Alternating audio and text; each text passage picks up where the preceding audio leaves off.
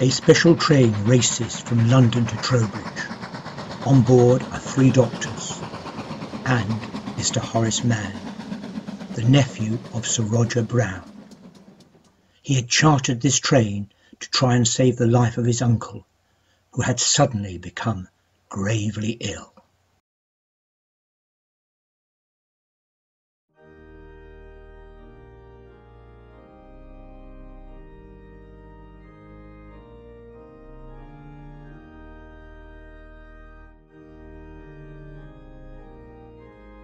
W. Roger Brown was born in Bath in February 1831, but his family roots were in the Trowbridge area.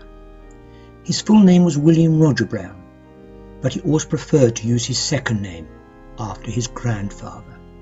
Shrewd, honourable, kind-hearted, hospitable.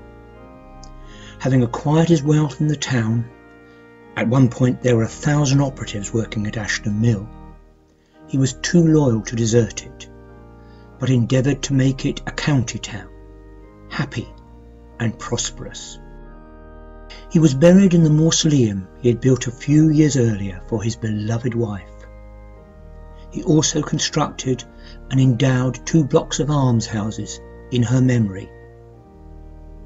He said, I have never done anything without consulting my wife and I think it would be a very good thing if everyone who has a wife acts in that way.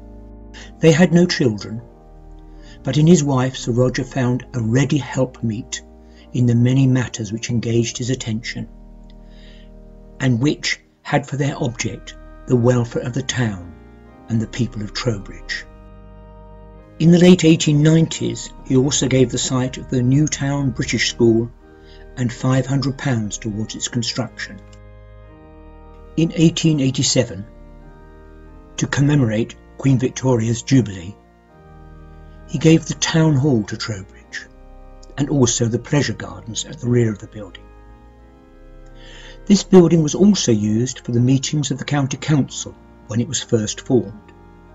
This fact, together with the easy access by train, eventually resulted in Trowbridge becoming the county town of Wiltshire.